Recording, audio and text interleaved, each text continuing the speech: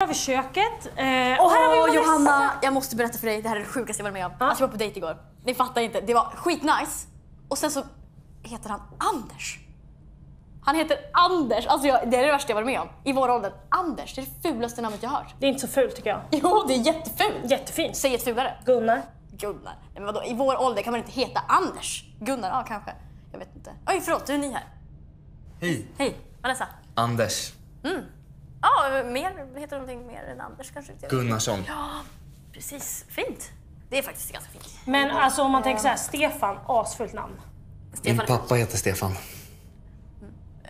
Fast sen när jag tänker efter då tycker jag att tjejnamn är mycket fulare än Ofta killnamn. säger tjejnamn fulare Alltså än typ tycker Sara. Sara. Skit, för ja det är fult namn. Det är ett väldigt fult namn. Det, det, Ja. det, det har du där. Min flickvän heter Sara. Tycker det är ganska fint faktiskt. Eh, där har vi kopiat